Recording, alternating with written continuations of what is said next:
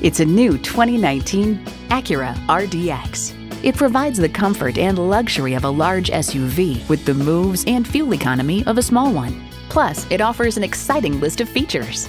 Integrated navigation system with voice activation, power heated mirrors, front heated and ventilated bucket seats, front and rear parking sensors, doors and push button start proximity key, dual zone climate control, automatic transmission, first and second row power sliding and tilting sunroof, gas pressurized shocks, and turbo inline four cylinder engine. Cars.com explains the Acura RDX is better armed to win over shoppers. It's larger, lighter, and more efficient, while offering an attractive value proposition. Acura has a legacy of innovation, a legacy that continues here. Stop in for a test drive and make it yours today.